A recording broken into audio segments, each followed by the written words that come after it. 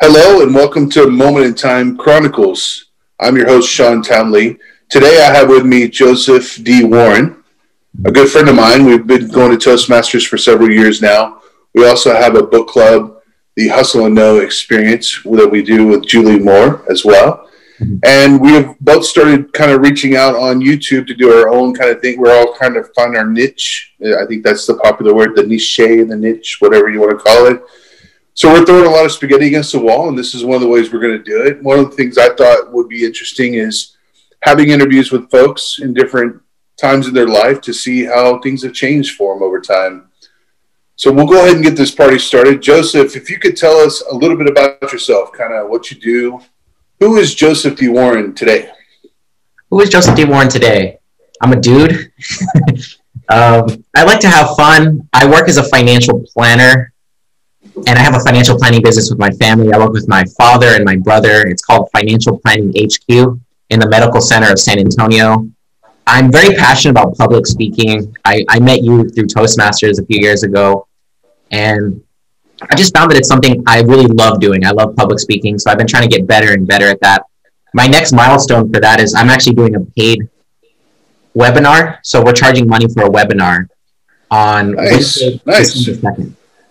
And that's a big milestone for me. I actually visualized that earlier this year before the, the whole pandemic thing happened. I had a visualization practice where I would walk around the neighborhood listening to music and just kind of like what I want my life to be like in the future. And that was one thing I did, except it wasn't going to be on Zoom. It was going to be in person. But it's been a kind of a crazy year. And that's a big milestone for me. And uh, I, that's actually benefiting charity. So we're going to set up a scholarship fund for Latina lawyers or future Latina lawyers to help fund the education of Hispanic ladies so they can become lawyers. Nice. What else am I up to? I love public speaking. I love doing these YouTube videos. it's a lot of fun my current struggles right now is I think time management is a big thing. I sometimes pack my time so quick, so so back to back that I don't have time to slow down and smell the roses. As I think that's in Ferris Bueller. They say you got to take some time to slow down and smell the roses. Absolutely. That's something I'm working on. I mean, I don't want it to just be like where I'm always working 100% and then I take a vacation for a week. And that's like, that makes it okay. I think you should have you need time to to think about stuff, kind of empty time so you can be creative and have new ideas. Otherwise, you're just stuck in the same loop. And going down the rabbit hole here, let me see. I'm big into conspiracy theories. I'm just talking about myself in general, but I'm huge into conspiracy theories. Um, and I've always been that way. I love kind of questioning the the narrative, and I think a lot of what we're taught in history class in school is not correct. it's just what what they put in there. So if you want to talk about that, we can. It might get a little bit interesting.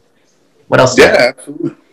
Yeah, I like music. I play the piano. Haven't been playing much recently, but big fan of different types of music, newer music, older music, and really, I think I think my purpose is right now is I think of my purpose as being to help other people, people who've been through what I've been through, and really just you know teach teach people help people to heal in their own way just by sharing my own story, and maybe they can resonate with that and um, it can help them in some way. All right. Okay.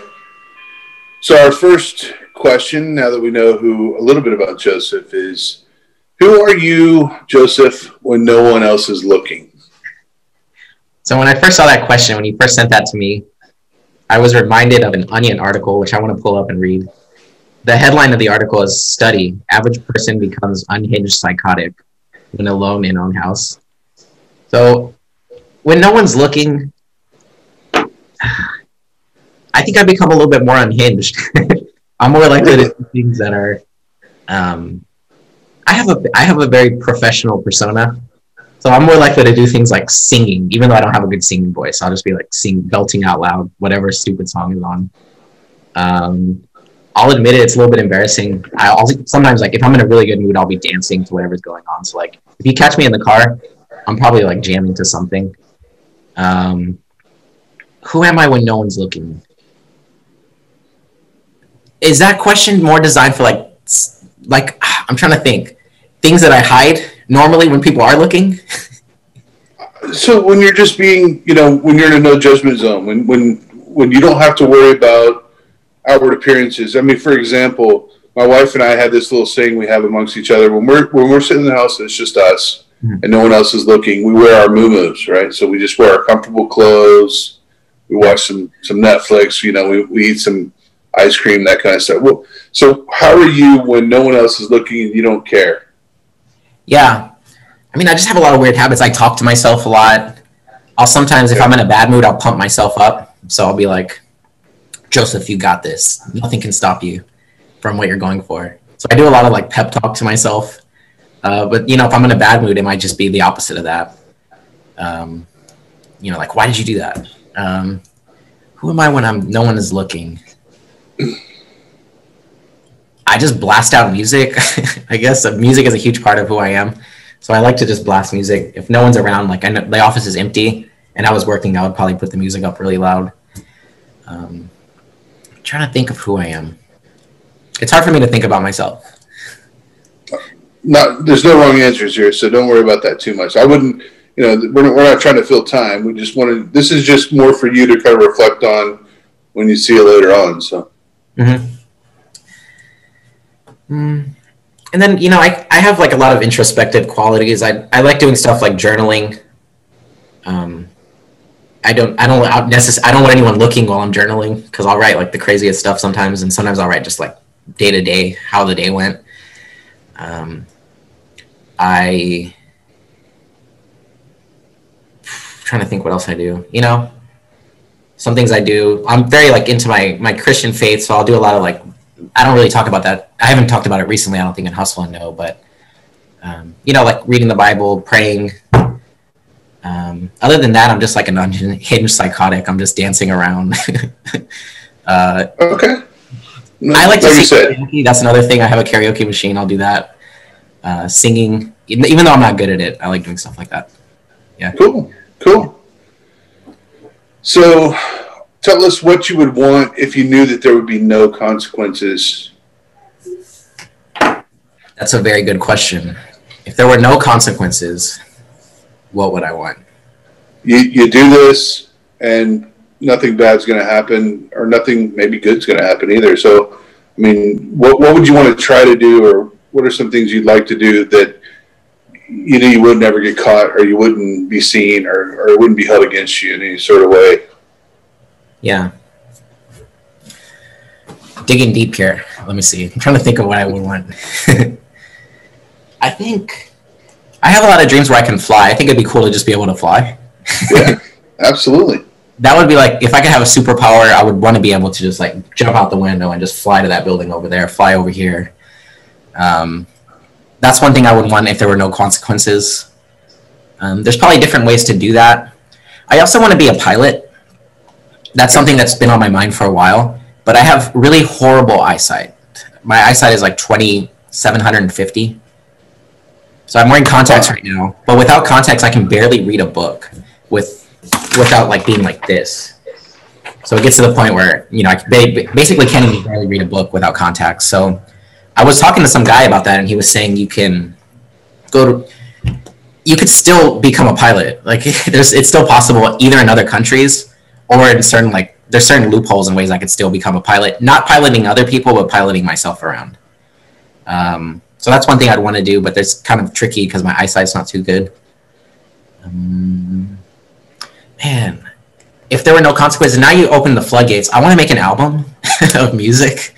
Absolutely. That I would love to do. Yeah. I think that would be so much fun.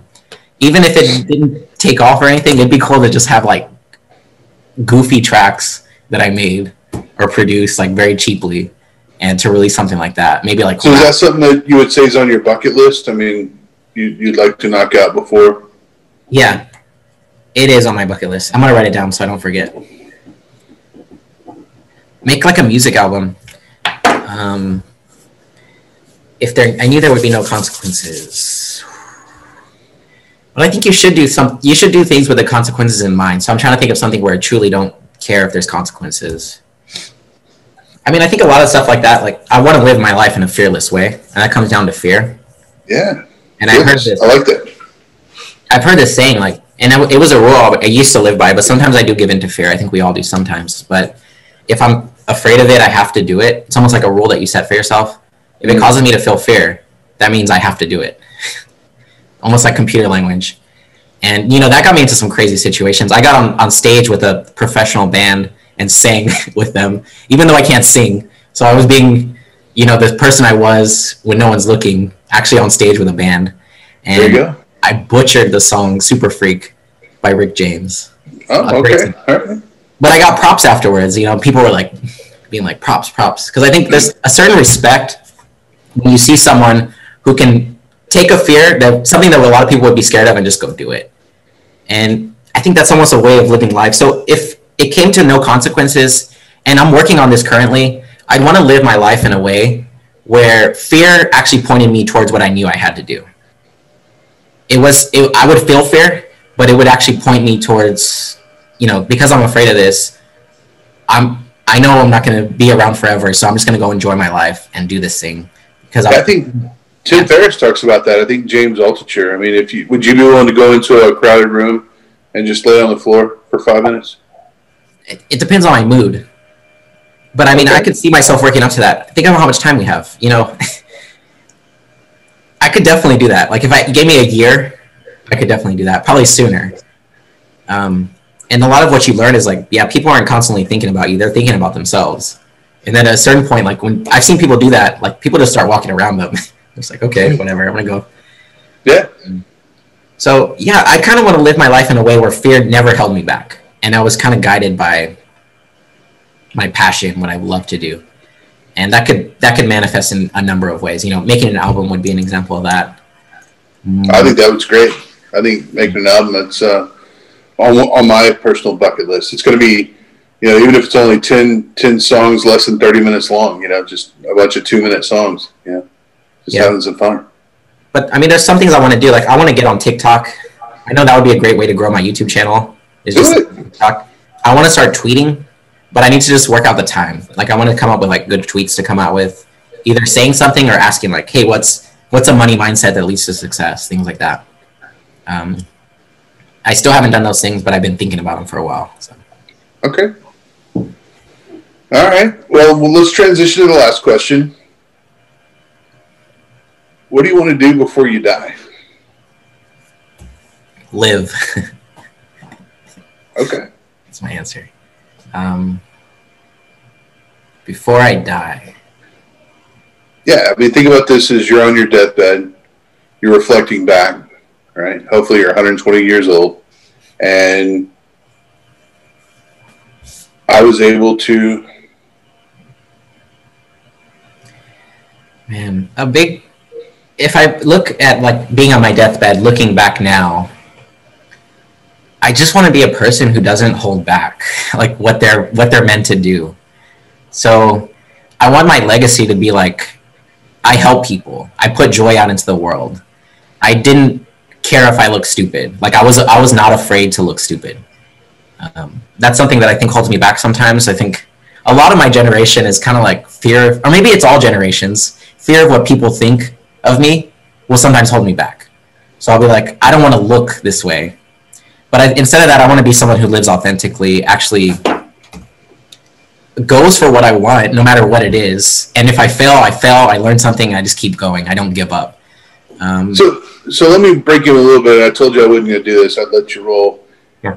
Think about the coolest people you know and how different they are from everyone else, and what makes them cool right? Is the yeah. fact that they don't care what anybody else thinks about them. Is I mean, is that a fair statement? That's a totally fair statement. And it's not that I want to be cool, but I know that caring about what people want in the long term will just it'll ruin your life. it kind of makes it so you're not living for yourself. You're or not saying you should live for yourself, but you're not living authentically. You're kind of living through like the lens of what other people think. Sure. Um, and that's something I, I, I'll be honest, I struggle with that sometimes I struggle with like what will people think if I say this? But I want to I want to train myself, train my mind to where instead of thinking that, I'm going to say, is it true? Is this authentically true? And then just say it.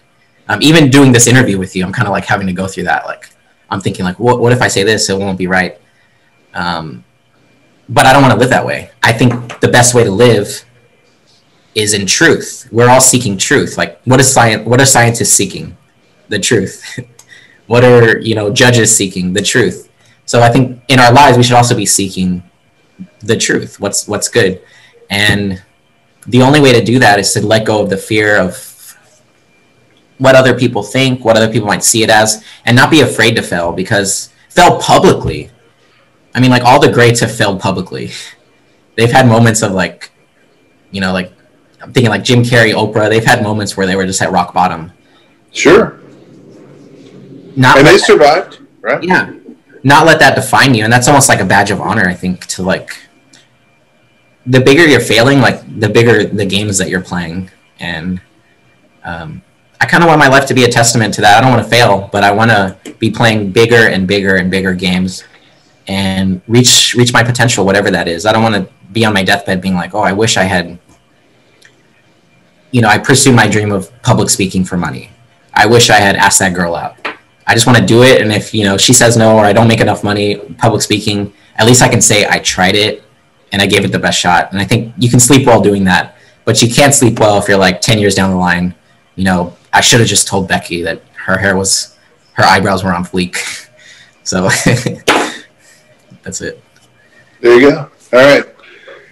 Anything else you'd like to to mention in this uh, in this chronicle? Hmm.